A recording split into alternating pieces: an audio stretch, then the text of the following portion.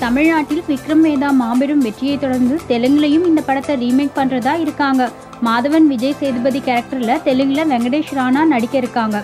தாதாவையும் காவல்துறை அதிகாரியையும் மையப்படுத்தி எடுக்கப்பட்ட இந்த படம் இதுவரை நாற்பது கோடி வசூல் ஈட்டியிருக்காம் ஜிஎஸ்டி வரி விதிப்பையும் தாண்டி இந்த படம் வசூலை குவிக்கிறதால இந்த படத்தோட ரீமேக்கை வேற மொழியிலையும் பண்ணலாம்னு பேச்சுவார்த்தை நடந்துட்டு இருக்காம் அடுத்ததான் டிரெக்டர் கல்யாண் இயக்கத்தில் பிரபுதேவா ஹன்சிகா மோத்வானி நடிப்பில் குலே பகாவலி படம் வெளிவரதா இருக்கு. பாகுபலியின் ஆடை அழகு காட்சிகள்ல அட்லீஸ்ட் பிப்டீன் பர்சன்ட் ஆச்சும் குலே பகாவலியில இருக்கணும்னு பிரபுதேவா விரும்புறாராம். ஸ்பெஷல் எஃபெக்ட் காட்சிக்கு மட்டும் த்ரீ மந்த் டைம் எடுத்து உழைச்சிருக்காராம்.